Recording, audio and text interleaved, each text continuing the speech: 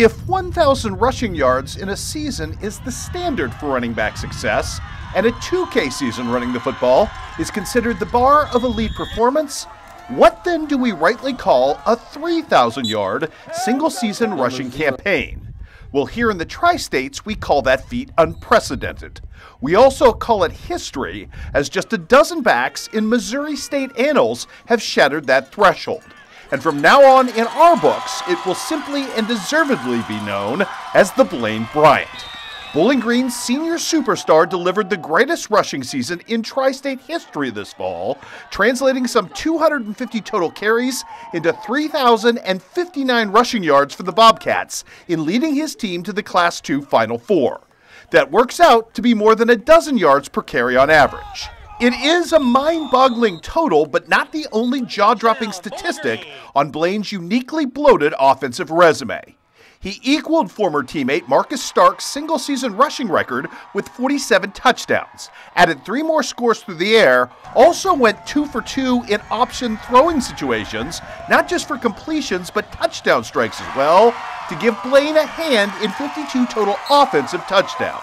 Toss in a blocked punt score, a defensive touchdown, and a kickoff return tutty, and that's 55 total end zone visits in a single year.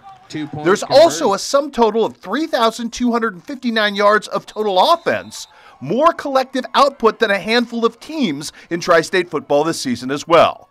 There was no more productive offensive weapon in the tri states this year, and there may never before have been one of this statistical ilk prior. It is a dizzying body of work, one punctuated by arguably the single best game effort we've ever seen around here from a running back. His 420 yard tour de force in the district title game with five touchdowns against South Shelby. And along the way, he collected honors as the Eastern Missouri Conference Player of the Year, as well as plaudits as a unanimous first team All State selection by the Missouri Coaches Association. It likely should have made him the Class II Offensive Player of the Year in the state as well, but the Bobcats' stumble against Lamar in the state semifinals was likely the lone hiccup in that campaign. His value, however, didn't end at just carrying the football. Despite all those attempts, Daegon Bleyne Bryant never lost his bite on defense or in special teams either.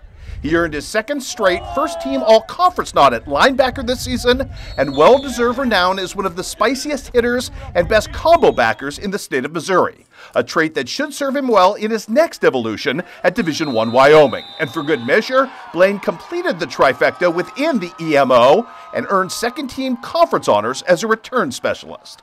Put simply, it was as complete and dazzling a senior year as we have seen from anyone in these parts. And it took a metahuman effort from arguably the greatest high school football player in tri state history to deny Bleyne overall KHQA Player of the Year honors. So it is with great pride that we honor Daegon Bleyne Bryant as your 2023 Missouri Iowa Offensive MVP. At number zero, Bleyne Bryant on that touchdown run with some help from the